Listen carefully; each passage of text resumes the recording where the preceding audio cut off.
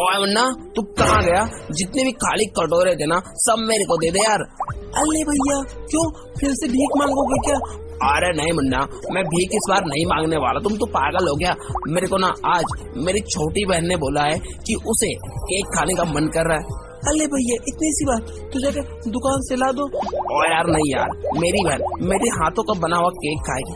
अरे बापले भैया आप अपनी बहन से इतना ज़्यादा प्यार करते हो? और यार मैं क्या जो इस वीडियो को देख रहे ना वो लोग भी प्यार करते हैं। अरे भैया मैं कैसे मान लू? और यार देखो ना इसे मानने और मानने की क्या बात है?